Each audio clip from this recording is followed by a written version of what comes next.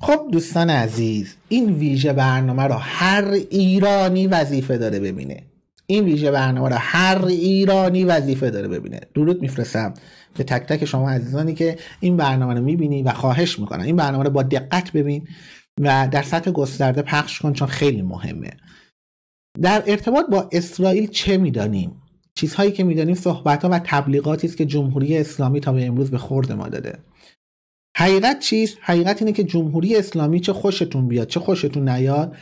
در بیان خطر اسرائیل شکست خورده. امروز عموم مردم ما نسبت به اسرائیل بی تفاوت هستند در بهترین حالت و در بدترین حالت حامی اسرائیلن.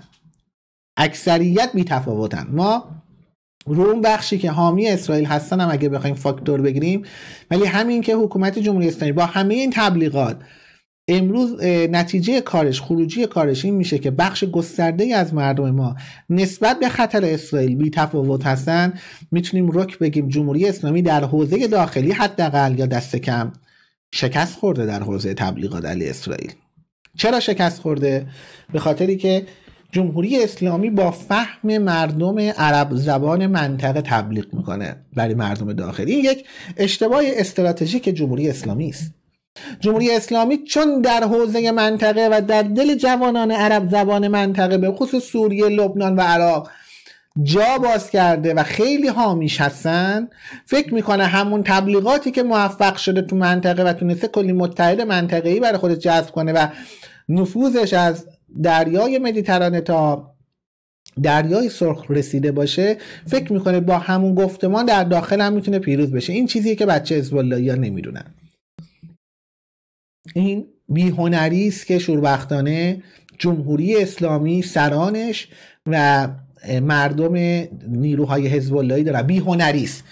با همون نسخه ای که در منطقه موفق شدن می‌خوان در داخل هم موفق بشن. خب در این اواخر من می‌بینم آقای خامنه ای و خیلی از چهره های نیروهای گارد جاویدان و ارتشی قضیه رو فهمیدن و خب خودشون هم تاثیر گذاشته و دارن رو میارن به گفتمان ملی. یک پرانتزی باز کنم چون این برنامه برنامه طولانی است. ای در اپوزیسیون برانداز میگن جمهوری اسلامی می‌خواد از کارت ملی استفاده کنه چون از ماها ترسیده. شما دوستان عزیز برانداز و خاکانداز و زیرانداز ببخشید اصلا خیلی خودتون اعتماد به نفستون بالاست خیلی خودتون حساب می‌کنید. شما عددی نیستید کسی از شما بترسه. نه این واقعا تغییر ماهیت خیلی از این نیروها در سطح رهبری و در سطح میلیاتراریسم حکومتی است. میلیاتراریسم یعنی نظامیگری. نظامیگری سیاسی در حکومته. و نیروهای میلیاتاریسم در حقیقت داره دیدگاهشون عوض میشه. همونطور که پادشاه فقیر از سال پنجم این سو خیلی دیدگاهش عوض شد که در این برنامه خواهیم گفت. بنابراین نتیجه اینه که جمهوری اسلامی در گفتمان در مورد اسرائیل و شناختن اسرائیل به مردم ما شکست کامل خورده. اما آیا شکست گفتمان جمهوری اسلامی علیه اسرائیل در حوزه داخلی نه حوزه بیرون از مرزهای ایران شکست خورده این حقانیتی میده به اسرائیل؟ آیا این حقانیتی میده به کسانی که بی تفاوت هستند به اسرائیل یا حامی اسرائیل هستند در کشورمون؟ نه. بیهنری جمهوری اسلامی در قلک درست بودن شما حامیان اسرائیل و یا شما مردم دست کم در بهترین حالت مردم بی تفاوت نمیاد اعتباری به شما نمیده. شما هم در جهل کاملید در جهل مرکبید کاملا. چون اسرائیل پدیده است بسیار خطرناکتر از این چیزی که شما می‌دونید. پرسش اینه اگر جمهوری اسلامی نباشد حکومت دیگری باشد یا حکومت شاه باشد رابطه ما با اسرائیل باید دوستانه باشد؟ فارغ از تمامی گفتمان اسلامی؟ مشخصا نه. چرا؟ ما یه تاریخ رو نگاه کنیم. تاریخ هفتاد ساله ننگین رژیم صهیونیستی و ضد بشری اسرائیل یه نگاهی بکنیم. ما نگاه می‌کنیم ایران در زمان پادشاه فقید در سازمان ملل جزء کمیته بررسی طرح تقسیم بود که آقا بین فلسطین و اسرائیل بخوام مرزها رو تقسیم بندی کنن. و جالبه بدونی ایران حکومت شاهنشاهی محمد رضا شاه در سازمان ملل اسنادش هست. صورت من همین که میگم یادداشت کنید. هر کدومشه که اشتباه گفتم بعدا بیا توف کنید تو صورت من. پادشاه فقید حکومت پادشاهی در زمان پهلوی پهلوی دوم در حقیقت در سازمان ملل در کمیته بررسی طرح تقسیم پشت فلسطین ایستاد علیه اسرائیل. این یه حقیقت تاریخی است. خب.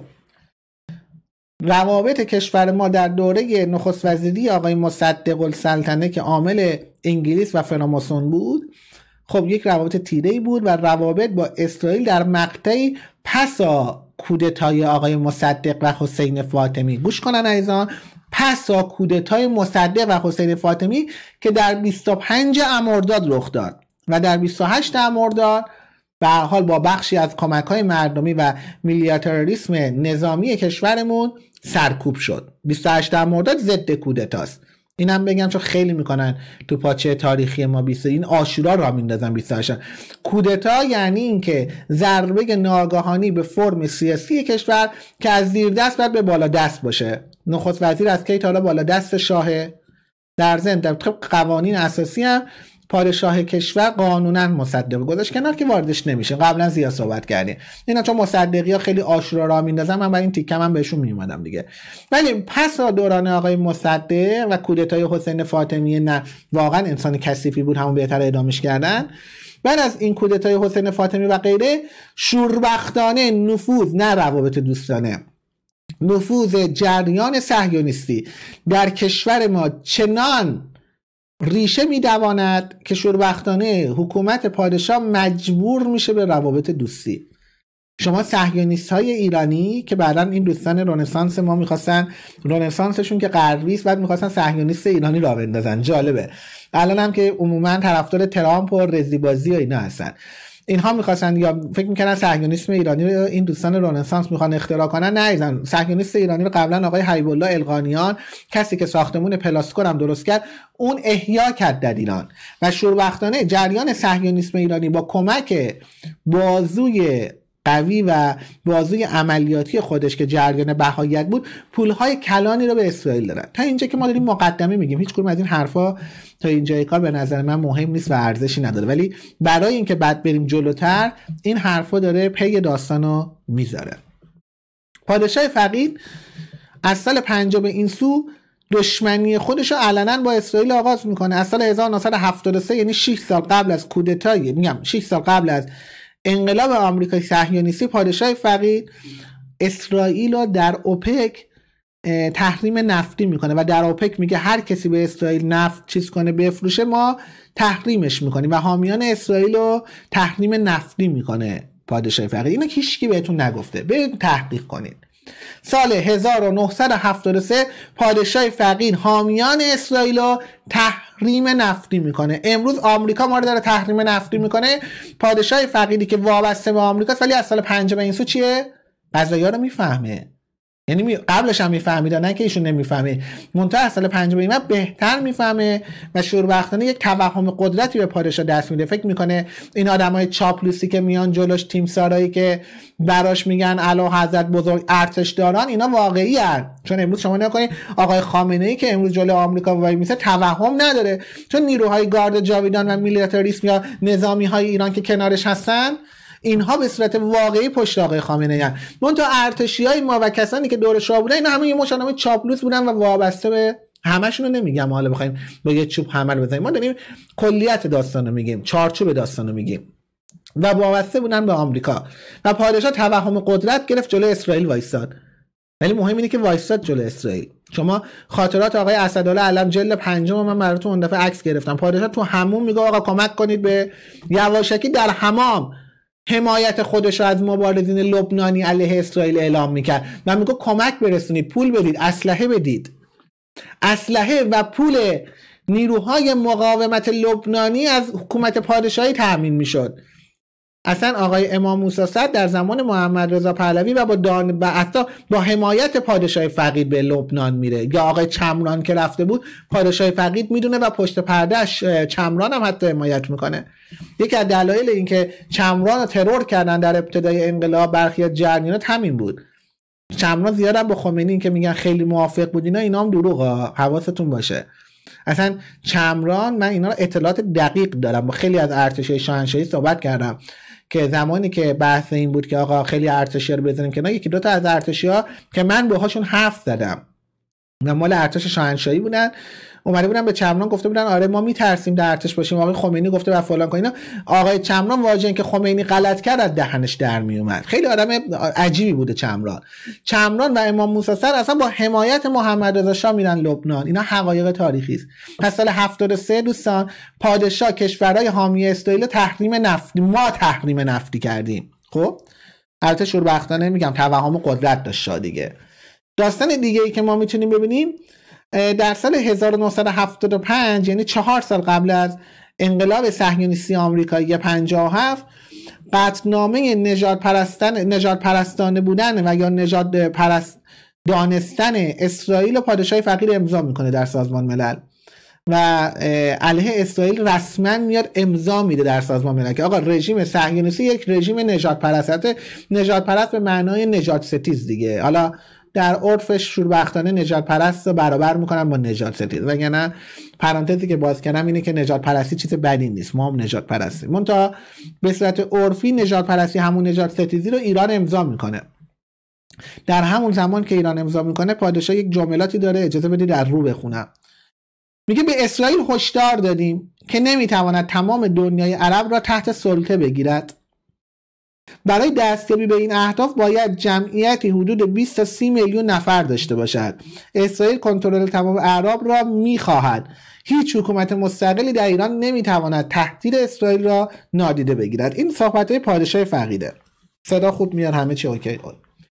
پادشاه علنا جلوش وای میسه حالا یه سری سند ها می‌خوام بهتون نشون بدم که احتمالاً دیدید گوشه کنار. صحبت های پادشاه علیه پدیده اسرائیل. یعنی اونایی که میگن الان رضا پهلوی میگه من می‌خوام با اسرائیل خیلی دوست خوب بشم اینا من می‌خوام آقا جمهوری اسلامی رو بذار کنار. جمهوری اسلامی 40 سال اومده. ما خود اسرائیل ها ببین بد بودن جمهوری اسلامی نمیره در قلک خوب بودن اسرائیل. ما می‌خوام خود اسرائیل رو بشناسیم. کاری به جمهوری اسلامی نداریم تو این برنامه. ما خود جم... اسرائیل رو در زمان پادشاه می‌خوایم بشناسیم. پادشاه میگه من پدرخوانده اسرائیل نیستم. تو صحبتایی که میشه پادشاه اینجا علنا میگه. روزنامه اطلاعات تاریخ که 17 بهمن 53 دقیقا سالهایی که از سال 50 به این سوی که شاه جرأت پیدا می‌کنه جلوی اسرائیل بیسه. که بزرگترین دلیل سقوط پادشاه در سال 57 اسرائیله. یعنی اصلا آمریکا یکی به خاطر یاقی شدن شاه و یکی به خاطر عزیز دردونش که پادشاه جریانات صهیونیسم ایرانی رو داشت محدود می‌کرد که کمک مالی برسونن و غیره رو و فهمیده بود اسرائیل که پادشاه داره. این همه جاسوس وقتی پادشاه به علم میگه آقا کمک برسونید به این دیگه تو جل پنجم خاطرات آقای اسدالله علم صمیمی ترین دوست شاهه. میگه کمک برسونید به مبارزان لبنانی. خب بالاخره این علم بخش جاسوس انگلیسه. مطمئن باشید اسرائیلی خبر داشتن. برای همینم شاه و سرنگون می‌کنن. روزنامه دیگه پادشاه فقید میفرمایند در روزنامه کیهان هم نوشته چهارشنبه 21 دی ماه 2536 که تو همون سال 50 دهه 50 میشه. برمیگرده میگه اماکن مقدسه اسلامی باید توسط مسلمانان اداره شود. این جمله پادشاه فقیده اینا. شاهنشاه ما تنها با صدای حق سخن می‌گوییم و صدای مصر صدای حق است. و میگه اماکن مقدسه اسلامی باید توسط مسلمانان اداره شود. منظورش مشخصا اورشلیمه. اورشلیمی که امروز اسرائیلیا میان پایتخت آمریکا رو اونجا می‌ذارن و برای که ما ایرانیان هم خلق کنن سکه کوروش و ترام درست می‌کنن. پادشاه تو این یکی. اینجا میگه اماکن مقدسه نباید در دست اسرائیل باقی بمونه. دوباره تکرار می‌کنه. روزنامه اطلاع سوم آذر 52 پادشاه میگه اماکن مقدس یعنی تمام صحبت های شاه علیه اسرائیل از در دهه 50 تو در 40 و 30 رو نمی‌بینی. در دهه سی و چهل اوج نفوذ اسرائیل در ایرانه. دهه پنجاه که پادشاه احساس قدرت می‌کنه یا توهم قدرت می‌گیره جلوی اسرائیل وای میسه. اینه که من میگم ژن آریایی اینا ببین ما دیگه مریم رجوی کثیفتر که نداریم. حتی این زنک کثیف این زنکی که واقعا با آب هفت دریا افکار کثیفش پاک نمیشه. مطمئن باشه این هم سر کار باشه برای 40 50 سال می‌رسه به همین جایی که بقیه رسیدن. چون این ژن اگه ژن ایرانی هنوز تو وجود این مریم قجر خائن مونده باشه. حتی من بعید مونم اگر یک درصد ژن آریایی تو وجودش مونده باشه همون جایی می‌رسه که آقای خامنه ای الان امروز محکم ایستاده و یا پادشاه رسیده بود. خب؟ حالا یه روزنامه دیگه. پادشاه فقیر روزنامه آیندگان تاریخش هم براتون بگم چهارشنبه 8 مرداد 54 ببین هرچی میایم جلوتر پادشاه سخنان علیه اسرائیل تندتر میشه. میگه اسرائیل در جنگ نهایی بازنده است. سخن پادشاه اینا رو بهتون نشون دادن؟ نشون نمیدن. چون می‌خوام بگن بچه حزب الله می‌خوان یه روایتی رو بدن که شاه عاشق اسرائیل بود و اتفاقا هواداران پادشاهی هم که امروز دارن عباستن جریانات صهیونیستی می‌خورن اینها هم می‌خوان بگن شاه ما با اسرائیل خوب بود. یعنی دو دسته خیانت دارن می‌کنن. هواداران پهلوی می‌خوان بگن شاه عاشق اسرائیل بود. حزب الله می‌خوان بگن شاه عاشق اسرائیل بود. هر کدوم ماهی خودشونو می‌خوان عذاب بگیرن. تاریخ چی؟ اصلا هیچ کدوم از این دو دسته کاری به تاریخ ندارن. کاری به این روزنامه ها اینا سند تاریخیه. اینا سند تاریخیه. کاری به این مسائل ندارن. حالا اینجا یکی از دوستان در این جایی که هستم خیلی جالبه. یه آرشیو خیلی گسترده از روزنامه های دهه سی و دهه چهل داره که قول داده به من من اینا رو یه نگاه بکنم. خیلی اسناد جالبی توش هست. یه کوچیکش که نگاه کرده بودم تو خونشون خیلی اسناد جالبی رو دیدم. خب پس پادشاه در سال 54 هر چی میایم جلوتر حتی دیگه صحبت جنگ می‌کنه میگه در جنگ نهایی اسرائیل بازنده است. اینا بذارید در کنار منفی 25 آقای خامنه ای هر کی رهبر ایران باشه اگر وجدان آریایی داشته باشه چه آقای خامنه ای باشه که گفتمان اسلامی داره چه شایی باشه که وابسته به آمریکا بوده. وجدان آریایی داشته باشه در مورد اسرائیل چیکار کرده؟ به یک جا می‌رسه. خب حالا اینو داشته باشیم تا بریم بقیه رو براتون بگم. این اسرائیل در جنگ نهایی بازنده است. تا بقیه‌شو براتون بگم. در زمان پادشاه فقید در دهه سی و چهل در دو پروژه اسرائیلی سر ما رو کلا می‌زنن کسی که امروز دفاع می‌کنید از اسرائیل خبر داشته باشه این داستان اسرائیل ما رو سرمون کلاه می‌ذارن. بعد حالا همینه که میگم مقدمه است. حالا دشمنیمون با اسرائیل هم نگفتم من فقط دارم الان صحبت می‌کنم. این دروغی که شاه عاشق اسرائیل بوده اینو من چیز کنم؟ یا حکومت پادشاهی طرفدار اسرائیل بوده این قضیه رو چیکار کنم؟ این قضیه رو حل کنیم تازه بعد بریم بگیم چرا با اسرائیل ما مشکل داریم. هنوز نگفتیم چرا مشکل داریم در دو پروژه نظامی و امنیتی اسرائیل سر ما رو کلاه می‌ذاره. یکی از این پروژه که من برنامه براش خواهم ساخت پروژه شکوفه است. معروف به پروژه گلم هست. در پروژه شکوفه یا پروژه گل که یک پروژه کاملا نظامی در راستای موشک های هسته است. اسرائیلیا یک میلیارد دلار به پول اون زمان سر ایران کلاه می‌زنن. در این پروژه قرار میشه که ایران پول بذاره. اسرائیلیا در این پروژه موشک های هسته با ایران به یک سری نتایج برسن. یک سری موشک رو درست کنن که برنامه جداگونه دارن و یک سری تسلیحات و یک سری تکنولوژی این داستان رو به ایران بدن. بعد مشخص میشه که اسرائیلیا پول از ایران که گرفته بودن می‌خواستن فقط موشک های هسته‌ای خودشون رو ارتقا بدن و اون تکنولوژی که قرار بوده در اختیار ما بدن یک تکنولوژی منسوخ شده نظامی بوده که دیگه به کار نمی اومده در اون زمان. و این داستان رو خیلی جالب آقای رونن برگمن این فرد کتابی می نویسه بعدا در اسرائیل به نام سه دهه جنگ با ایران. در کتاب سه جنگ با ایران آقای رولن برگمن اسرائیلی صهیونیستی در تلاویو اشاره می‌کنه که ما سر ایران رو کلاه گذاشتیم. به همین سادگی من پوزش می‌خوام. به قول این دوستمون من یه قهوه بخورم.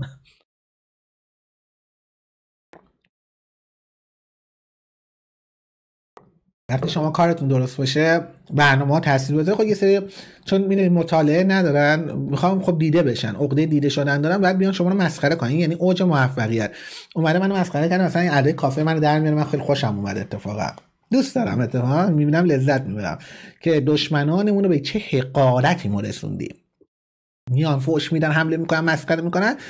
به ایران سوگن تا امروز نشده. کسی به من حمله کنه و من قلبا ناراحت بشم. لذت می‌برم. این لذت بردن بابت اینه که تسلط دارم به کارم و می‌دونم که داریم دقیق چی کار می‌کنیم. خب آقای رانن برگمن میاد کتاب می‌نویسه سه دهه جنگ با ایران میگه ما سر ایران رو در پروژه شکوفه کلاه گذاشتیم. الان یه سری آقایون حامی اسرائیل هوادار رضا پهلوی میان شروع می‌کنن که آی تو داری دروغ میگی. من اصلا نمیگم. آقای رانن برگمن میگه تو کتاب خودش. فدای بشم. تو برو دعوات با تئوریسین های اسرائیلی بکن که اونها میگن سر اینا رو کلا گذاشتی. رگی که شما برای اسرائیل کلوف می‌کنی خود اسرائیلیا برای خودشون دیگه کلوف نمی‌کنن در این حوزه. یک پروژه دیگه ای که سر ما رو کلاه می‌زنن در حقیقت پروژه کریستاله که این من تحقیقاتم کامل نشده برنامه خواهم ساخت ولی در این پروژه هم سر ما رو کلاه می‌زنن. یک پروژه اطلاعاتی خب ساواک و موساد در جایی در پروژه کریستال با همدیگه کنار میان که در مورد کشورهای عربی که باشون دشمن هستن در یک مقطعی خب آخر نفوذ اسرائیل در ایران انقدر زیاد بود در سی و چل و پادشاه کوتاه میاد. حالا اینکه چرا بعد پادشاه علی اسرائیل انقدر موضع می‌گیره اینا دهه 50 ما داریم در مورد دهه 30 و 40 صحبت می‌کنیم. پروژه کریستال رو راه میندازن. که آقا اطلاعات از کشورهای عربی بگیرن و ما جاسوس تربیت می‌کنیم در درون ایران که در عراق به ویژه. در عراق مثلا نفوذ بکنن و ما بدونیم صدام چه غلطی داره می‌کنه. اسرائیل هم در اینجا با ما همکاری می‌کرده. ولی بعد معلوم میشه اسرائیل در این پروژه سر ما رو کلا می‌ذاره و کسایی که آموزش دیده بودن در ایران از آن خودش می‌کنه و به اینها پول میده که علی خود ایران و شاه جاسوسی کنن. دور می‌زنه ما رو یعنی ما دو تجربه همکاری در زمان شاه رو داریم با اسرائیل که در هر دور زمینه این صهیونیستای مارموز چیکار می‌کنن؟ سر کشور ما رو کلاه می‌زنن. و شاه دیگه می‌فهمه آقا هیچ رقمه نمی‌تونه با اسرائیل کنار بیاد. که بعد در پنجاه میگه آقا در جنگ نهایی اسرائیل باید نابود بشه. این حرف پادشاه که بازنده یعنی چی؟ یعنی نابودی. ما صحبت شاه که در جنگ نهایی رو می‌ذاریم در کنار منفی 25 خب حالا مخالفت اسرائیل چرا؟ چرا؟ بحث شیعه است؟ نه بحث شیعه نیست. حالا ما می‌خوایم ببینیم چرا ما مخالف اسرائیل اسرائیل یک رژیم در حقیقت نژاد ستیزه. تا اینجام نژاد ستیزه یک جایش به ما بر می‌خوره چون نژاد ستیزی که داره می‌خواد توسعه بده به این کشور خودش. توسعه طلبی اسرائیل اونم در منطقه ای که ما ازش یاد می‌کنیم به عنوان حوزه تمدنی ایران بزرگ برای ما خطرناکه. هیچ کشوری توسعه طلبی کشورهای تازه تاسیس رو نمی‌تونه قبول کنه. من یه مثال بزنم. شما دید کل اروپا با روسیه ای که به حال یک کشور قدیمی است روسیه. زمانی که مکه کریمه رو بگیره کل اروپا علیه روسیه شوریدن. و گفتن تو نباید کریمه رو بگیره با اینکه روسیه یک کشور قدیمی است و زیادم به اون شکلی که ما فکر می‌کنیم نژاد ستیز یا رو بحث نژاد حرکت نمی‌کنه آنچنان. ولی وقتی کریمه رو خواست بگیره کل اروپا اعتراض کرد. آیا ما باید بگیم الان دعوای بین اروپا و روسیه دعوا بین مثلا مسیحیت ارتودکس و مسیحیت کاتولیکه؟ چجوری می‌خوایم بگیم دعوایی بین ایران و اسرائیل دعوا بین شیعه و یهودیته؟ در حالی که مسیحی های لبنان دارن از ایران حمایت می‌کنن. در حالی که در این حوزه تمدنی کلی مسیحی داریم که حامی ایرانه. کلی سنی داریم. پس دعوا بین شیعه و یهودیت نیست. دوستان زنگ نزنید خواهشم. این فردا بذارید من یه بلاک خوبش بکنم. تنبیه بشه. اجازه بدید. بلاک شد رفت. اوکی. خب. بلاک شد سری بله.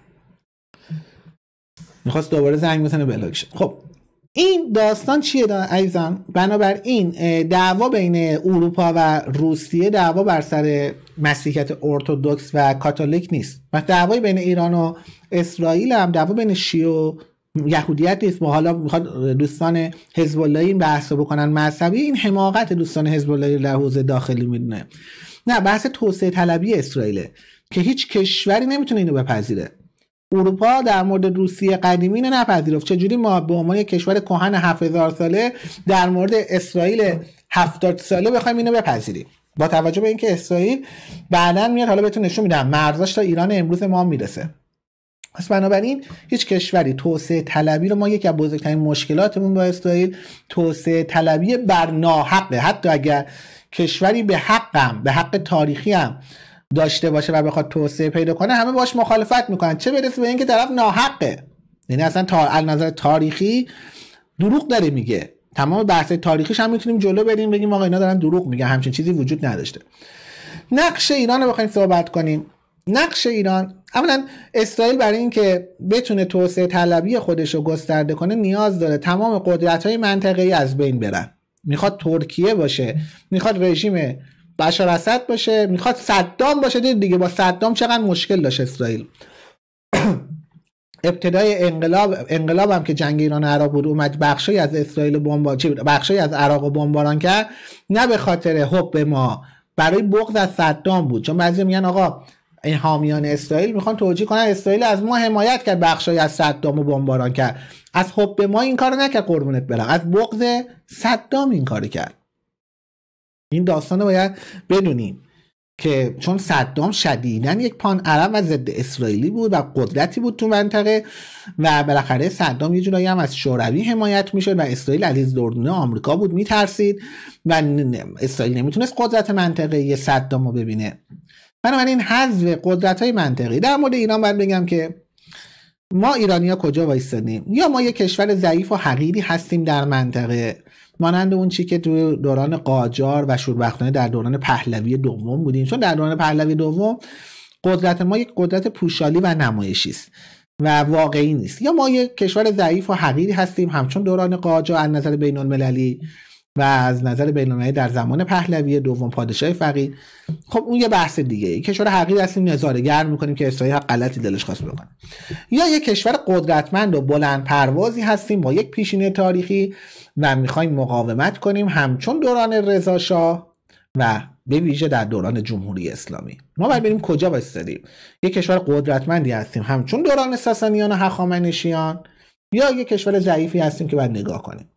اگر حالت دوم ما قبول بکنیم پس منافع ملی ایجاب می‌کنه. در مقابل تهدید اسرائیل آگاهانه بیستیم. این آگاهانه ایستادن در برابر اسرائیل بسیار مهمه. ایران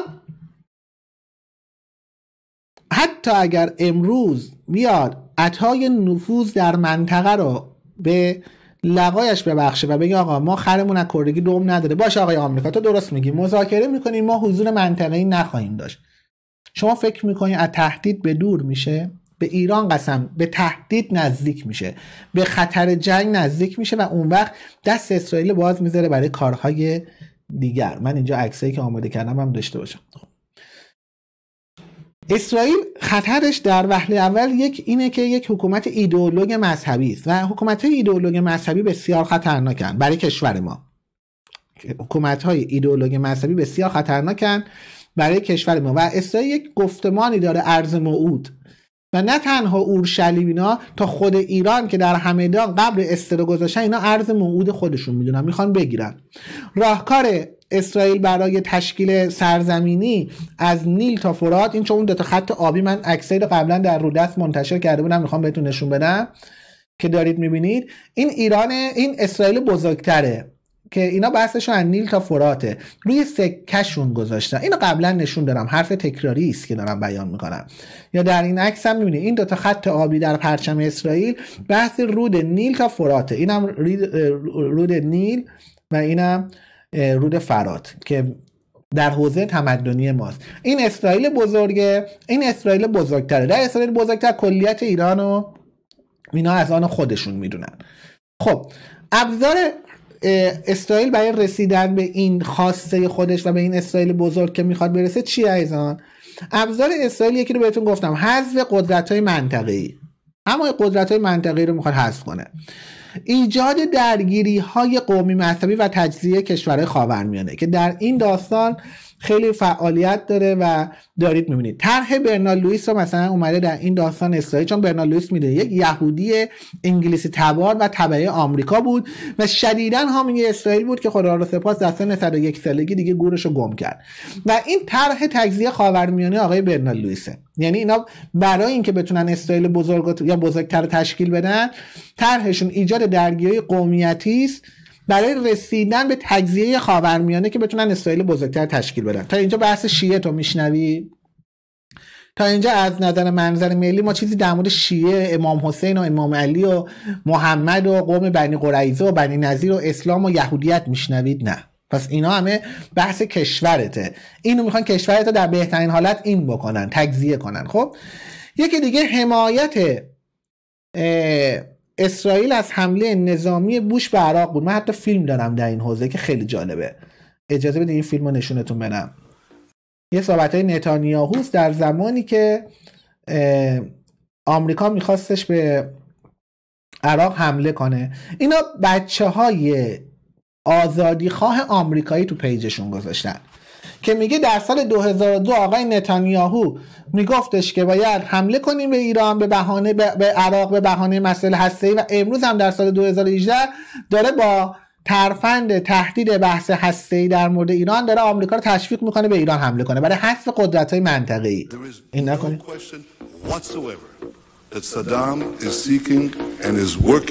حالا چون موزیک داره شاید حق کپی رایت داشته باشه بقیه‌شو نمی‌ذارم. چون موزیک داره اینا این ویدیوییه که امروز نه یک بچه مسلمان شیعه بلکه امروز آزادی خواهان آمریکایی که اصلا از هر دو طرف مسیحی هن و هیچ ربطی هم به ایران ندارن و ده هزار کیلومتر کلا از کشورهای اسلامی به دور هستن درست می‌کنن.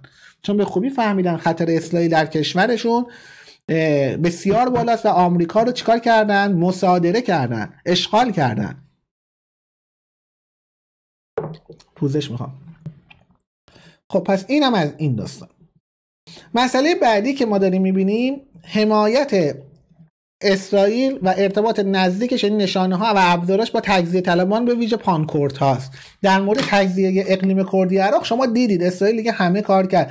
عکسشو دارم بهتون نشون بدم مثلا آقای برنال لوی رو شما تو این عکس می‌بینید با رهبران پانکورد برنال لوی یک فرد متعصب صهیونیست فرانسوی تباره که در جنگ شش روزه در جوانی خودش می‌خواست از فرانسه بیاد به فلسطین اشغالی و برای اسرائیل بجنگن انقدر تعصب دارن. برنالوی ما در موردش قبلا افشاگری کردیم. یک فردی است که در هر جایی که شما تجزیه کشور رو می‌بینید پای دو تن اونجا بازه به صورت میدانی. به صورت تئوری پای برنال لوئیس و جورج سولوس و اینا بازه. که تئوریزه کردن این قضیه رو و در رسانه ها میان و پشت پرده هستن و به صورت میدانی که شما می‌تونید رویت کنی چون آقای برنال لوئیس و جورج سورس و اینا اینا به صورت سلاح شیمیایی کار می‌کنن. اینا دیده نمیشن اینا تو پشت پردن ولی کسانی که با چشم غیر مسلح هم قابل رویت هستن یکیش برنارد لویه همین مردک که می‌بینی. یکی دیگه برنارد کوشنره که حالا عکسش نمی‌دونم آماده کردم در هر دوتاشو من برنامه ساختم. این برنالیویه اینجا برنالیویه. می‌بینی با رهبران کرد وایستاده. در بحث میدانی اینها میان و در جنگ سودان در جنگ لیبی در همه جا شما برنارد کوشنر و برنارد لیبی که هر دو یهودی فرانسوی تبار هستن می‌بینی. اصلا برنارد کوشنر که مدت وزیر امور خارجه آقای سارکوزی بود. و اینجا شما می‌بینید اسرائیل برای رسیدن به اینکه قدرت های منطقه رو حذف کنه نسخه تجزیه رو میاد بررسی می‌کنه و از پانکورد ها حمایت گسته. از پانکورد ها از دیرباز تا به امروز حمایت کرده. شما همین خانواده بارزانی از ملا مصطفی بارزانی که برخی از دوستان عزیز پانیرانی سمازیات تو باغ نیستن. از اینها بگیرید تا همه حمایت بکنم من دیدم یه توی پرانتزی باز کردم. یه توییتی آقای حجت کلاشی از رهبران جوان پانینیس گذاشت. ارادت دارم بهشون ولی متاسفم آقای کلاشی. شما می‌خواید هم سیخ نسازه هم کباب. یه دونه پست گذاشتم که حالا خیلی جالبه. از اون بخشی که می‌خواست مثلا فوش نخوره فوش خورد از جریانات برانداز. گفت آره اینکه ما پهباد آمریکایی رو زدیم که کار درستی کردیم ولی جمهوری اسلامی هم خودش خطر و فلان و اینا. چه ربطی داشت؟ بعد از همونایی که ضد جمهوری اسلامی هستن اومد کلی فوش خورد. آیا حجت کرد؟ شما پانیانیست هستی. شما باید محکم در اون جایی که بحث منافع ملی بیستید من اینو به عنوان کسی که نکرد شما بیشتر می‌دونم اینو نه. من شما رو خیلی سال میشم سال 1380 من با شما در حزب پانیانیست همدیگر رو یادمون میاد. آقای حجت کلاشی نه به عنوان دوست رفیق ولی به عنوان یک دوست قبول کنین حرفو از من. به عنوان یک دوستداران شما. از رضابازی و گفتمان براندازی فرسنگ ها فاصله بگیر. وگرنه با تمام تحصیلات و با تمام آگاهی هایی که تو داری و واقعا می‌تونه مفید باشه تو یکی از کسایی می‌تونی باشی که جز نخبگان این کشور باشی در حوزه ملی گرایی خیلی فاصله بگیر از گفتمان غربگرایی فاصله بگیر از مبانی متوهم مبانی چجوری بهتون بگم خیلی مبتزل دموکراسی و لیبرالیسم. خیلی فاصله بگیری از این براندازها و در جایگاه ملیگرایی حجت کلاشی باش که درست موضع می‌گیره و تواناییشو داری. آدم تحصیل کرده ای هستی انسان آگاهی هستی بسیار انسان پخته ای هستی. فاصله بگیر. وگرنه ببخشید صدها عین شما اومدن و در این گفتمان ها به خاطر ترس از این و اون گیر کردن و وارد یک چرندیات سیاسی شدن و خودشون رو تلف کردن. من به عنوان دوستدارتون اینو گفتم. خب این از اسرائیل. یکی از ابزاراش چیه؟ برای اینکه کشورها تجزیه کردن پانکوردا رو اومد مثلا حمایت گسترده کرد. دیدید دیگه پانکوردا تنها پرچمی که در تجزیه کردستان عراق بردن بالا پرچم اسرائیل بود.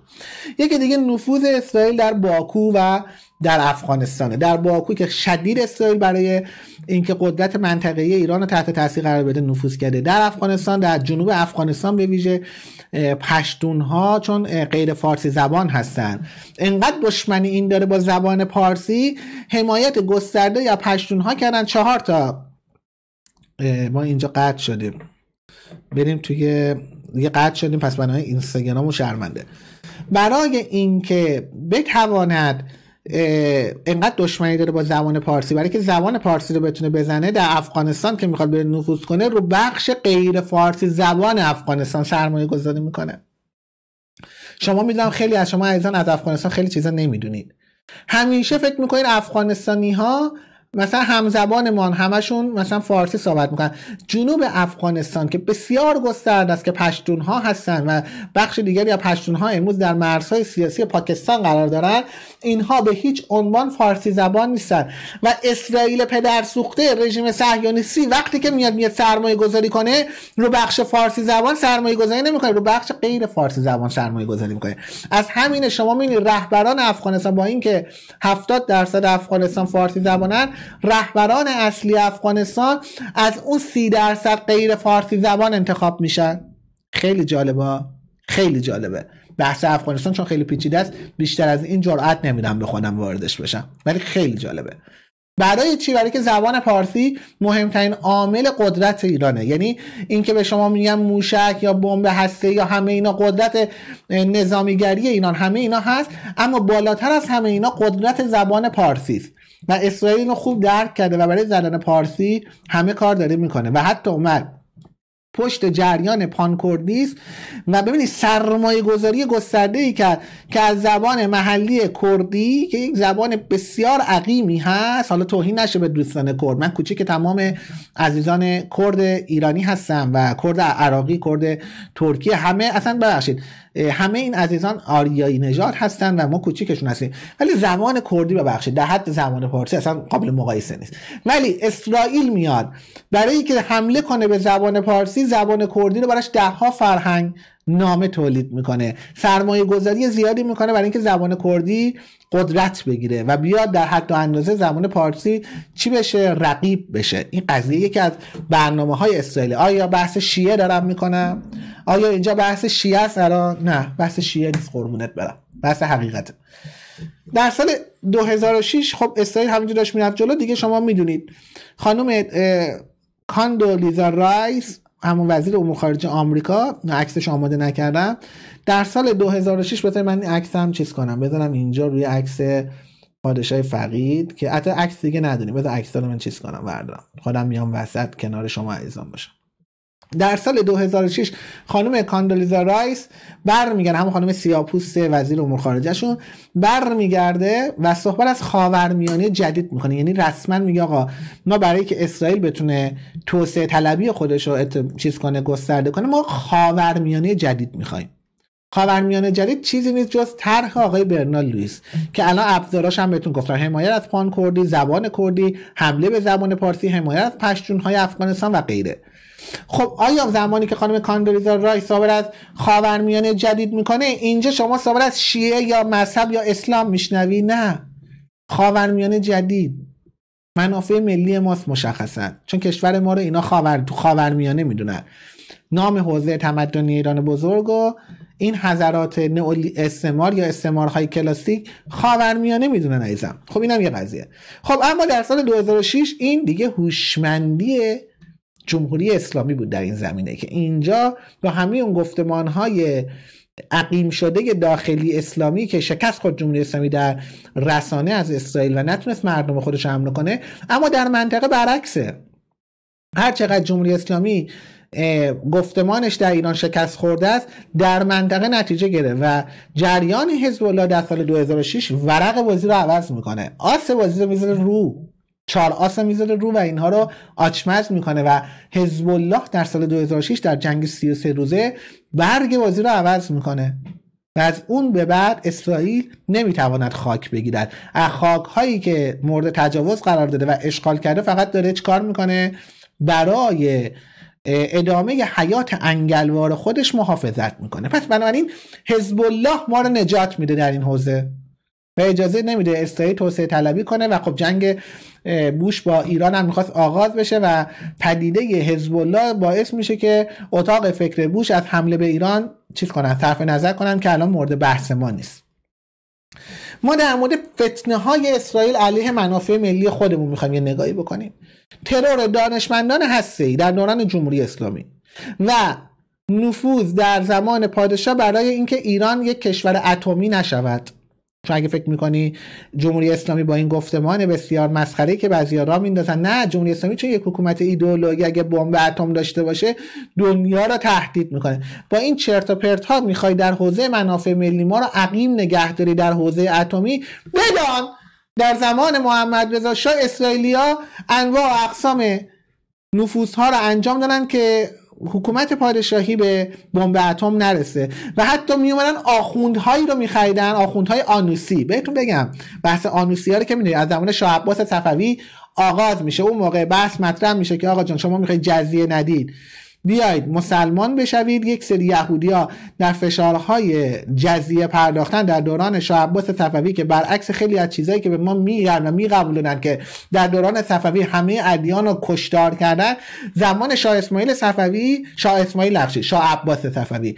در زمان شاه عباس صفوی یک دوره بسیار آزاد ادیان بوده که خیلی هم آزادانه به خاطر فقط فشارهای جزیه اینا میان مسلمان میشن. ولی در خانه مناسک یهودی رو اجرا می‌کنن. به اینا میگن آنوسی. اسرائیل با کمک از آنوسیایی که آخوند شده بودن که همین امروز هم کلی از آخوندهای ما و این بچه حزب ما خیلیشون نگاه نکنی جای مهر نماز شیعه رو پیشونیشه. اینا آنوسی هستن. اینا خیلی هاشون آنوسی هستن. ما نمی‌تونیم تهمت به کسی بزنیم کی آنوسیه کی نیست. ولی من فکر کنم این حسن روحانی از آنوسی های پدر سوخت است. کاری ندارم. اتهامم نمی‌دونم من فقط یه فکرمو بلند بلند گفتم. و آنوسی ها رو انداختم به جون محمد رضا که اینا پشت سر هم فتوا می‌دادن که بمب اتم چیه؟ حرام است. حالا اگر امروز آقای خامنه ای میگه حرام است یک استراتژی پشت این داستان خوابیده. اگه ایران بمب اتم داشته باشه که پادشاه آقای پادشاه خامنه یا همون آقای رهبر حالا بیت دوستان میگن آقای خامنه ای به عنوان رهبر حالا دوستان حزب اللهی نمی‌تونه بیاد علنی بگه که ما بمب اتم داریم که. اون بعد اونجوری بگه. ولی در زمان پادشاه که آخوندا کاری نبودن میان حرام اعلام می‌کنن این کار اسرائیله. آنوسی هستن اینا. اینا آخونده آنوسی هستن که در خانه مناسک یهودی خودشون اجرا می‌کنن. بنابراین ترور دانشمندان هسته که بعدا اسرائیل اصلا افتخار کرد به این قضیه. و خیلی جالبه بین دستگاه امنیت CIA و MI6 و موساد دعوا شد که آقا هر کدوم اومدن ادعا کردن ما دانشمندان هسته ای رو کشتیم. بعد اینا به ما میگن جمهوری اسلامی تروریستی است آقای ترامپی که امروز ملت ایران تروریستی خطاب می‌کنه CIA که سازمان مطبوع و امنیتی خودشونه اطلاعاتی خودشونه با MI6 و موساد کل انداخت که دانشمندان هسته ای رو ما ترور کردیم. بعد اینها به ما میگن تروریست. تو رو خدا می‌بینید. اسرائیل مانع قدرتگیری هر کشوری در خاورمیانه میشه یکی دیگه فتنه هاشه که براتون کامل توضیح. این فتنه رو خیلی حواستون باشه. هر جایی که تو منطقه قدرتی اینا می‌خوان چی؟ چون می‌خوان توسعه پیدا کنن. مانع فروش تکنولوژی غنیسازی هسته‌ای بوده همیشه اسرائیل به ایران و حتی F35 و حتی تکنولوژی هسته‌ای و F35 که آمریکا می‌خواست به عربستان بده همین اسرائیل تو همین اواخر اومده اعتراض کرد. یعنی حتی مهمترین متحد خودش که عربستان هست اسرائیل دیگه بحث اسلام نیستش دیگه. این آقاین ابری و عربی دو قطب ابری و عربی که عربستان و اسرائیل باشن و امروز متحد استراتژی که همدیگه علیه کشورمون هستن با این وجود اسرائیل رفت اعتراض کرد به ترامپ که آقا جا به اینا سلاح هسته و هواپیمای F35 رو نده نفروش. خیلی جالبه. چرا؟ چون عربستان هم نباید قدرت زیاد بگیره تو منطقه. برای اسرائیل خطرناک میشه. درسته عربستان باید تا حدودی قدرت بگیره علیه کشور ما. ولی نباید یک قدرت واقعی داشته باشه. اسرائیل جون ناراحت میشه. آره اینم هست. خب قدرت های منطقه ترکیه هم خیلی کار داره می‌کنه زمین بزنه. اما برای همین هم می‌خواد حکومت ایران ها از بین بعد حمایت گسترده اسرائیل از جریان سلفی است که اصلا دیگه انکار ناپذیره دیگه. داعش همه جا عملیات انجام داد الا اسرائیل. میشه؟ داعشی که دم دست اسرائیل بود تو سوریه. تا مرزهای ببخشید دمشق اومده بود و حتی از مرزهای دمشق می‌تونست بلندی های جولان رو ببینه با چشم غیر مسلح. هیچ عملیاتی رو انجام نده توی خاک اسرائیل. خب خندهدار بود. حمایت گسترده و حتی دیدید دیگه من قبلا برنامه ساختم. فرماندهان اسرائیلی حتی به زبان عربی که تسلط دارن اومدن دفاع کردن از سلفیا علی شیعه. چرا علی شیعه دفاع چیز می‌کنن حمله می‌کنن؟ اینجا بحث شیعه یهودیت نیست چون می‌دونن شیعه ابزار آریایی ایرانی هست در راستای ملیگرایی که جلو اسرائیل بیسن بنابراین و شیعه رو بزنن و سلفیا رو بندازن به جون شیعه. یعنی مسلمانان حقیقی رو بندازن به جون ما ایرانی ها مثل مثلا مسلمان واقعی و حقیقی و کسانی که واقعا تو راه پیامبر بودن مثل ابوبکر بغدادی رو بندازن به جان این کشور ما. خب این کارم داره اسرائیل می‌کنه و میاد حمایت گسترده ای از اسلام حقیقی سلفی می‌کنه. در برابر ما شیعیانی که می‌خوان نابودمون کنن. حالا ما شیعیان یعنی این حالت چیز داره. من خودم بیرون از این داستانم. سخن پایانی چیه؟ سخن پایانی اینه که آقای زیبا کلام در این چیز با توجه به چیزایی که براتون توضیح دادم میگه آقا مگه ما مأموریت داریم اسرائیل نابود کنیم یا مگه کسی به ما مأموریت داره مخالف اسرائیل باشیم؟ پاسخ به آقای زیبا کلام اینه آقای زیبا کلام این که شما میگه مگه کسی به ما مأموریت داده چون شما همیشه منتظر که آمریکا و اربابات به یه مأموریتی بدن. ما نگاهمون به منافع ملی است. و اگر با توجه به صحبتایی که کردم و به توجه تاریخی که داریم منافع ملی رو نگاه کنیم منافع ملی این وظیفه رو بر دوش تک تک ما ایرانیان قرار داده که از پدیده خطرناک اسرائیل جلوگیری کنیم. این یه قضیه است. یعنی یک ضرورت هر ایرانی نژادی است که در برابر اسرائیل بیستن. یه سری سادلوها در این شرایط ادعا می‌کنن که آقا جا همه این مخالفت ها و فشارها به خاطر ایدئولوژی جمهوری اسلامی است. و پاسخ به اینا اینه مگه سوریه و مگه سوریه مگه سکولار نبود؟ پس چرا اسرائیل این بلا رو سر بشار اسد آورد؟ بشار اسد که سکولار اسلامی نیست تمام دیسکو اینا هم که توی دمشق پهنه. شما که علیه بشار اسد موضع می‌گیرید چون انقدر بی سوادید ریش تیغ زده بشار اسد رو نمی‌بینید. فقط چون می‌بینی بشار اسد متحد خامنه ای فکر می‌کنی بشار اسد هم همچون حکومت ما یک حکومت ایدئولوژیک مذهبی است. در حالی که حکومت سوریه عزیز با سواد یک حکومت کاملا سکولاره و اسرائیل اینو چه بلایی سرش آورد یا مصر؟ مصر مگه شیعه سنی یا ایدئولوژی صدور انقلاب داشت؟ مصر درست سنی است ولی در دوران حسنی مبارک و حتی در دوران اون ابرمرد بزرگ آقای انور سادات که حالا خیلی بهش حمله کردن که تو چرا اومدی با اسرائیلیا اسرائیل به رسمیت شناختی؟ این بخش رو نگاه نکردن به رسمیت شناختن اسرائیل با این شرط گذاشت که صحرای سینا که یک صحرای بسیار استراتژیکی بود از دست اسرائیل در آورد. البته انور سادات هم ایرادات خودش رو داشت ولی اونقدر دیگه چیز نبود که یک آدم تروریستی چون خالد استانبولی بخواد بره ترورش کنه و واقعا شرم‌آوره که ما یکی از خیابونامون به نام خالد استانبولی است. در مورد آقای انور سادات این پادشاه فقید بی‌انصافی های زیادی شده. البته نباید مثل هواداراش بخوایم اینو بوتش کنیم. نه اشتباهات زیادی هم داشت. ولی در مورد اینکه اسرائیل به رسمیت شنا شرایط به گونه ای بود که اون موقع ایشون تشخیص داد. حالا تشخیصش درست بود یا غلط بود این بود که صحرای سینا رو از دست حکومت اشغالگر اسرائیل بخواد نجات بده. که خب این کارم انجام داد. الان صحرای سینا نیروهای اسرائیلی توش نیستن. خب مصری که سنی بوده و نزدیک به جریان سکولاریسم هست چرا انقدر اسرائیل با اونا مشکل داشت قربونت برم؟ آیا اونا هم صدور انقلاب داشتن؟ تا آخه برمیگردی شما ساده لوانی که میگی مشکلات ما بابت گفتمان جمهوری اسلامی که می‌خواد صدور انقلاب کنه آدمای بخشی ساده لوحی هستی می‌دونم تنفر داری از گفتمان جمهوری اسلامی. می‌دونم از این رفتارهای غلطی که این بچه حزب یا تو مدرسه با دوست دخترامون با دوست پسرامون با همه اینها با همون داشتن. پارتیامون میمونن فوزیلی می‌کردن. بیشتر از کپونشون حرف می‌زنن در مورد تیپ و قیافه و مدل مومون اینا. متنفری. ولی ببخشید ساده لوح نباش. بحث ایدولوژی جمهوری اسلامی نیست. وگرنه سوریه سکولار یا مثل سنی سکولار این اتفاقات براش نمیافتاد ایزم یا لبنان چی؟ مگه لبنان شیعه است؟ یک سوم لبنان شیعه است. دو سومش سنی و مسیحی هن. اصلا مردم قرتی داره لبنان. با لبنان چرا اینجوریه؟ چرا مسیحی های لبنان امروز کنار حزب الله ایستادن؟ اینا هم باید که نگاهی بکنی. بعد یه حقیقتی رو بگم. خیلی چون حمله می‌کنن که جمهوری اسلامی حکومت مذهبی است.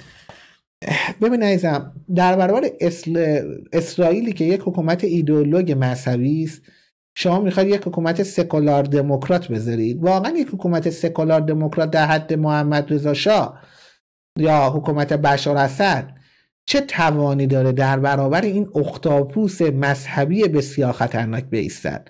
آهن آهن می‌بره دیگه.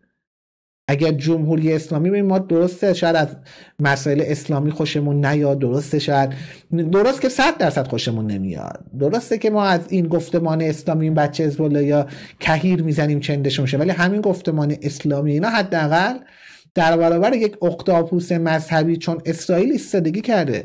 صدها حکومت سکولار دموکرات تا به توان مقاومت در مورد اسرائیل رو نخواهند داشت. رژیم صهیونیستی یک رژیم صد درصد مذهبی و خطرناکه. حکومت های سکولار دموکرات رو ببین استخوناشون رو خورد می‌کنه. این گفتمان مذهبی ماست که تونسته جلوی اسرائیل و پدیده توسعه طلبی اسرائیل بگیره. فارغ از اون بحثای مذهبی که درونش اینا دعوای خودشون دارن. ولی ما از منظر ایران شهری بعد اسرائیل رو بشناسیم. از منظر ایران شهری دعوای ایران و اسرائیل به هیچ عنوان یک دعوای مذهبی نیست. اما مذهب یکی از ابزارهای مهمترین ابزار ماست. مثل این میمونه که الان مثلا اسرائیل کلاشینگوف داره من جسه دارم. دعوای من و با کسی که کلاشینگوف داره که در سر این نیستش که جسه بهتر از کلاشینگوفه اون سلاحش کلاشینکوفه ما سلاحمون جسه. دعوای ما امروز این نیست. یعنی ما از منظر ایران شهری دارم عرض می‌کنم. کسایی که بیرون از بیرون از منافع ملی و ایران شهری هستن خطابم با اونا نیست.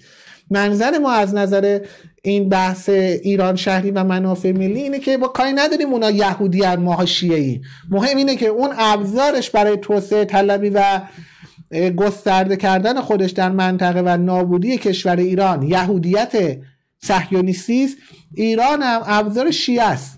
منتها ایران این ابزار شیعه رو تو منطقه نتیجه گرفته سلاحش رو در داخل باید سلاحش منافع ملی باشه مردم آگاه کنه. گفتمان ایران شهری باشه که بی هنری می‌کنه جمهوری اسلامی. بی هنره تو این داستان. ولی در منطقه قربونت برم. یک حکومت صرفا غیر مذهبی تاب و توان پدیده اسرائیل نداره. ما چرا خیلی اصرار می‌کنن؟ تمام اپوزیسیون ایران و نیروهای ستون پنجم ایران اصلاح طلبا را همه را انداختن تو گفتمان نئولیبرالیسمی که ابزارش سکولاریسم و دموکراسی و حتی این ابزار سکولاریسم و دموکراسی رو به ویژه دموکراسی رو در حد ایدئولوژی آوردن بالا. میگن آقا محتوا باید سکولار دموکرات باشه. چرا؟ چون به خوبی می‌دونن به محضی که ایران سکولار دموکرات بشه چی میشه؟ قربونتون برم تکرار کنید. اسرائیل به هدفش می‌رسه. اگر سکولاریسم و دموکراسی و اینجور چیزا خوبه بی ریش تئوریسین های خودش.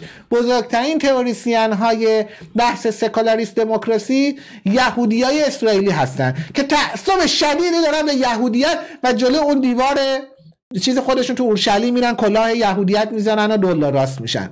بزرگترین تئوریسین های سکولاریسم و دموکراسی متعصبین به یهودیت رژیم صهیونیستی هستن.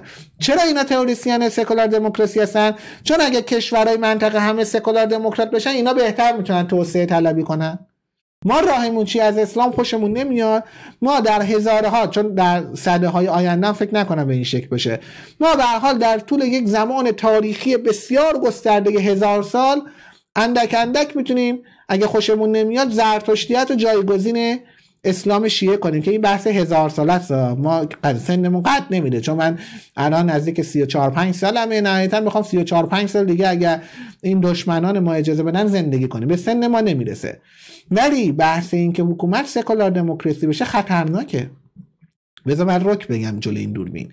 به عنوان یک هوادار پادشاهی زرتشتی و ایرانخواه به مراتب حکومت های مذهبی رو حکومت مذهبی از نوع اسلام شیعه جمهوری اسلامی رو به هزاران سکولار دموکراسی از مدل شاهی که خروجیش میشه دیدید دیگه در برنامه گذشته. که حالا اگر در یوتیوب نگاه می‌کنید برنامه آینده است. دیدید که خروجی این سکولار دموکراسی پادشاه فقید چی میشه؟ من آدم آمریکاییام و آمریکایی‌ها نفوذ دارن تو کشور ما. به مراتب از منظر منافع ملی و ایران شهری من ایدولوژی جمهوری اسلامی در راستای اسلام شیعه رو که خروجیش میشه. آقای خامنه ای برمیگرده میگه من پیام نمیدم به تهران و مقاومت می‌کنه و میسته و برای ما این قدرت میلیتاریسم نظامی رو به ارمغان میاره و ما با این قدرت تدافعی و پدافندی موشکی و نفوذ در منطقه سرفراز هستیم و اجازه نمیدیم بیگانگان در خاکمون باشن ترجیح میدم به حکومت سکولار دموکرات. من از اسلام از اسلام در تمامی حوزه متنفرم ولی اسلام شیعه جمهوری اسلامی رو به یک حکومت سکولار دموکرات ترجیح میدم. چون خروجی اون چیه؟ خروجی اون نفوذ آمریکا و کشورهای بیگانه در منطقه مونه خروجی اون نفوذ اسرائیل در منطقه مونه خروجی اون اینه که فرد اول این مملکت میگه من آدم شما فرد اول میگه من آدم شما یعنی خاک بر سر هممون. خروجی این ور چیه؟ اسلام شیعه آقای خامنه ای خروجیش اینه که در برابر یک پدیده اختابوسواری که داره منطقه رو قورت میده در چارچوب منافع ملی ایستاده. حالا با گفتم ابزارش سلاحش جسش اسلام شیعه است.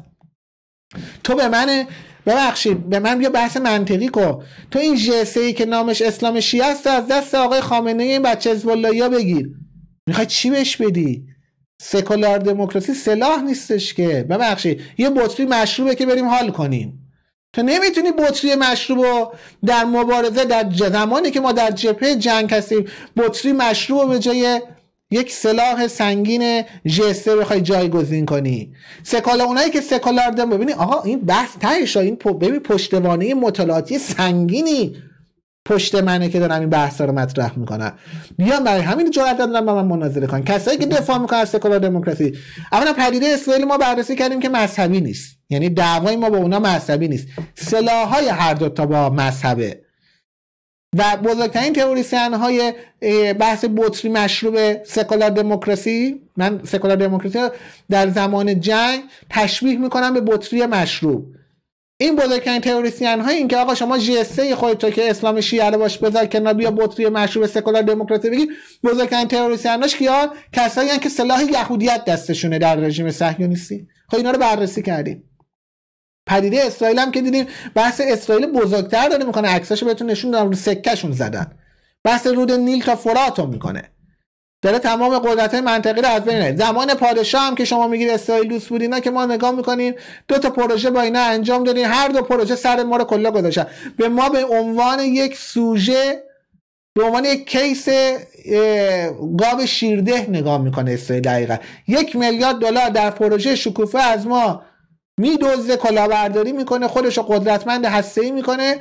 بعد می‌خواسته به ما سلاح آتشخال بده که آقا نویسنده خودشون اونن کتاب سه دهه جنگ با ایران رو نوشتن در تلاویو اشاره کردن. بنابراین یه خود به خودمون بیایم. چرت پرت نگیم سکولار دموکراسی. در جنگ پیچیده ای که اسرائیل در منطقه را انداخته با پدیده پیچیده اسرائیل تو نمی‌تونی جسه جمهوری اسلامی رو از دستش بگیری و بخوای آدمای خوشگذرونی چون رضا پهلوی یا رضا دیبا رو بیاری که این همش پلاس تو کنسرت گوگوش و ایبی و یا تو عروسی پسر پسر خونده ایبی چون پسر ایبی نیستش که پسر زنشه. تو عروسی پسر زن ایبی و توی کنسرت حسین توهی و آرش و اینا که همم هم خوانندهان نیناشناش و اینا بیای بطری مشروب سکولار برای همین رضا دیبا اینقدر اصرار می‌کنه. آقا فرم سیاسی کشور جمهوریت یا پادشاهی مهم نیست. محتواش که باید بطری مشروب سکولار دموکراسی باشه مهمه. بنابراین درسته جمهوری اسلامی گفتمان شکست خورده در حوزه داخلی ولی به منزله این نیستش که کامل داره اشتباه میگه. ما می‌خوایم جمهوری اسلامی با یک حکومت سکولار دموکرات عوض بکنیم. آره وایستا که کشورت هم امنیت داشته باشه. اسرائیل بذاره تا امنیت داشته باشی ببینید خیلی بحثا پیچیده و گسترده است و این برنامه به نظر من بدون رو درواسی یک شاهکاری است برای شناخت اسرائیل. در سطح گسترده این برنامه رو پخش کنید. اگر روزی هم قرار ما اسلام شیعه رو بذاریم که این کاری ببین یکی دو روز که نیستش که. بحث بحث 1400 سال ریشه دوانده. و شما هم 1400 سال وقت بذاری خیلی هم کار بسیار سنگینیه. یک جراحی قلبه در حقیقت.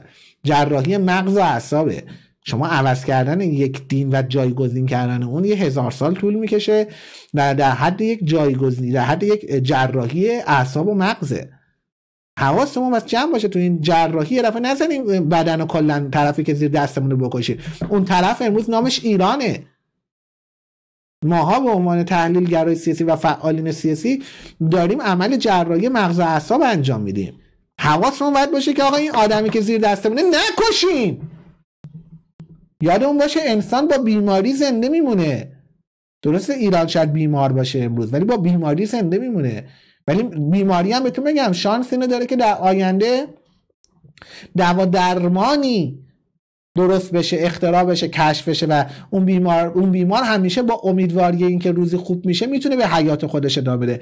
ولی اگر ما متخصصان جراحی مغز و اعصاب که بالا سر این مغز وایسادیم داریم کار می‌کنیم بزنیم بیمار رو بکشیم برای انسان مرده هیچ گونه دوا درمانی وجود نداره. بنابراین پدیده اسرائیل حواستون باشه انسان ها بی تفاوت نباشن ایرانیان. اگر از جمهوری اسلامی خوشت نمیاد و در خیلی جا حق داری و کمکاری ها و بیهنری جمهوری اسلامی بوده من حق میدم. ولی از منظر ملی بدان. اسرائیل پدر حساب بچه ما رو زمان شاه در بود جمهوری اسلامی هم بره ایران رو نابود می‌کنه. خیلی حواستون جمع باشه. این مسئله واقعا جدی بگیرید ایزان و این برنامه رو شرف ملی داشته باش در سطح گسترده پخش کن. گذاری کنم از واقعا کسانی که اجازه دارن من مستقل امروز برنامه بسازم. با خیال راحت نه وابسته به جمهوری اسلامی باشم که حواسم باشه به اسلامشون چیزی نگم نه وابسته به براندازه باشم حواسم باشه به رضا دیباشون نگم بالا چشش مثلا ابرو یا غیره. به صورت مستقل دارم حقایق بیان می‌کنم. درود به شرف کسایی که با کمک های مالی باعث شدن ما در رودست این گونه مستقل و قدرتمند باشیم. این گونه قدرت پیدا کنیم. امروز من و تو بی بی سی در شبکه های اجتماعی از ما کمتر بیننده دارن. این قدرت ما هستش که سیل عظیمی از دشمنان وجودی ایران رو مشغول به خود کردیم. سپاسگزاری می‌کنم و این قدرت رو من از کسانی دارم که حمایت مالی می‌کنن از کسانی که دارم حمایت مینوی می‌کنم برنامه رو پخش می‌کنم دست تک تکتون رو میبوسم. چون باعث شدید ما یک سنگر قدرتمند برای اولین بار پس از 100 سال پدیده رسانه ایجاد کنیم که فقط سنگ منافع ملی ایران رو به سینه بزنه و منافع ملی ایران رو درست بشناسه. چرا میگم ما رو قله ایران شهری هستیم؟ در اوج این که ما از اسلام متنفریم برمیگردیم در قله ایران شهری میگیم اسلام شیعه خامنه ای رو هزاران برابر به سکولار دموکراسی رضا پهلوی و غیره ترجیح می‌دهیم. این یعنی اوج این که شما در قله ایران شهری نشسته اید و با یک پشتوانه مطالعاتی عظیم تسلط دارید به اتفاقاتی که داره میافته.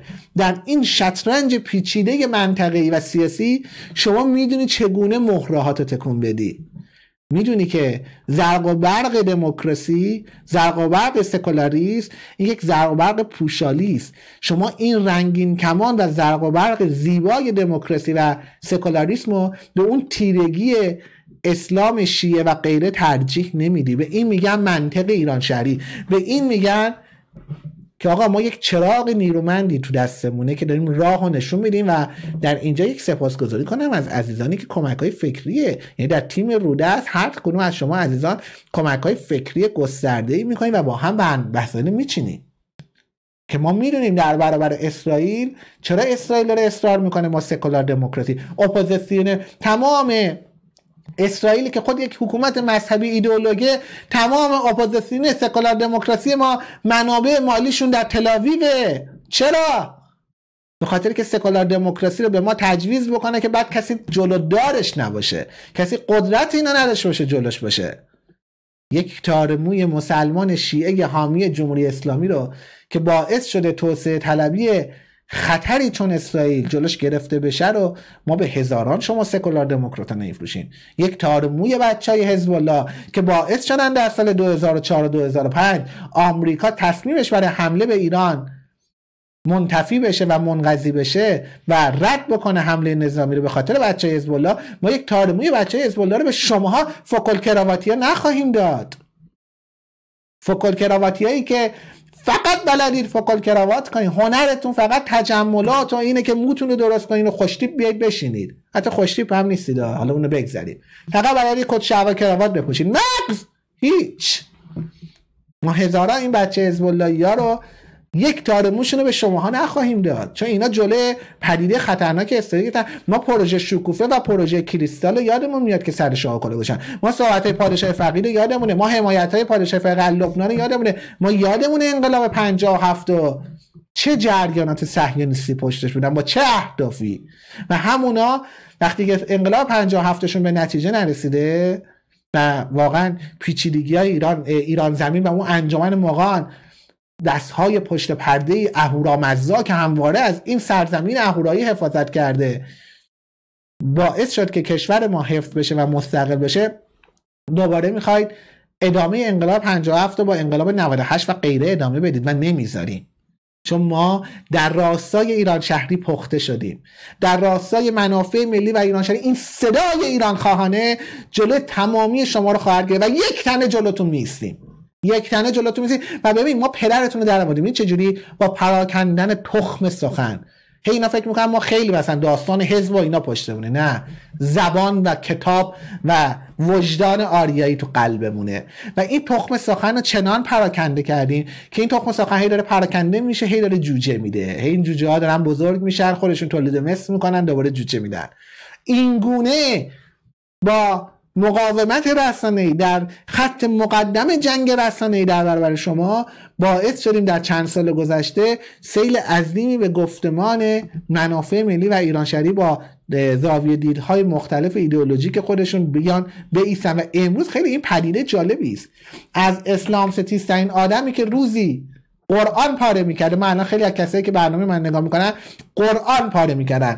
تا کسانی که ببینید قرآن رو سرش می‌ذاره جون میره برای اسلام و قرآن. امروز ما در پدیده برنامه رودست کاری کردیم. این پدیده گفتمان ماستا که امروز هر دوتا در یک نقطه ایستادن در دفاع از منافع ملی.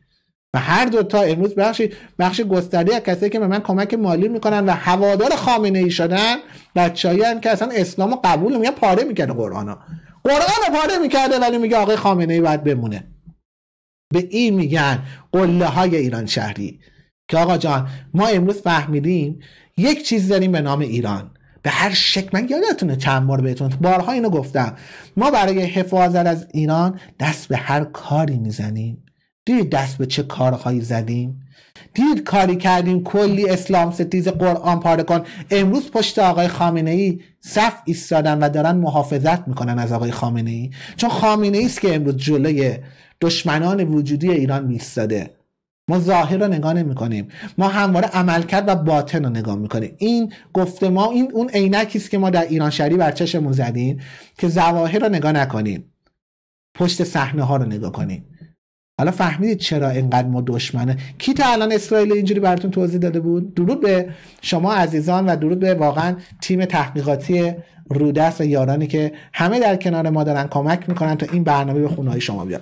هاینده ایران. یادتون باشه ایران بزرگ آرمان بزرگ می‌خواد ایران بزرگ آرمانه. اینا شعار نیستا. من شعار متنفرم. اینا باور هر ایرانی نژاد است. و این نژادگی باوری که ما داریم این حرفی که ما داریم می‌زنیم خواهید دید. ایران به زودی نمیگم صد سال دیگه نه. ایران تا یک دهه دیگه تبدیل به امپراتوری بزرگ جهانی خواهد شد. تو این شک نکنید. ما همین الانش هم امپراتوری داریم میشه ولی در آینده اگر بتوانیم این تخم سخن رو به شکل گسترده پراکنده کنیم و از آقای خامنه یا حداقل گفتمان آقای خامنه ای که ایستادگی است مقاومت است نه به صلح تسلیمی است نه به آخه هر کی میگه صلح طلب هم تسلیم داره می‌کنه خودمونو نه به این صلح که در حقیقت تسلیم مذاکره مساوی با تسلیمه. صلح مساوی با تسلیم. ما صلح نمی‌خوایم امروز. صلح یک واژه فریبنده است. در زمانی که ما امپراتوری نداریم صلح یعنی خاک برسری امپراتوریمون رو تشکیل میدیم اون وقت میگیم حالا که ما قدرتمون به همه دنیا می‌رسه ما آدمای صلح طلبی هستیم با هیچ جنگ نداریم. ولی تا زمانی که حقمون رو از دل ژرفنای تاریخی و پستی بلندی های تاریخ این فضای پر فراز و نشیبی که کشور ما را هی پرتلاطم کرد و 200 سال مورد استعمار قرار داد تا زمانی که امپراتوری تشکیل ندیدیم هر کسی که واژه صلح میگه با مشت اقتدار دهان این صلح طلبا رو خورد خواهیم کرد. صلح زمانی معنا داره که قدرت دستمونه. زمانی که قدرت نداری کسی که میگه صلح جز صلح چه, چه می‌تواند بگه؟ کسی که قدرت نداره سخن از صلح میگه هنر می‌کنه؟ اگه صلح نکنی چه غلطی می‌خوای بکنی؟ تو که قدرتی نداری. صلح طلبیه. کسانی که قدرت ندارن نشانه عزت و اقتدارشون نیست. نشانه مناعت تبشون نیست. نشانه وادادگیشونه. نه آریایی نژاد نمی‌تونه واداده باشه. پاینده ایران بدرود.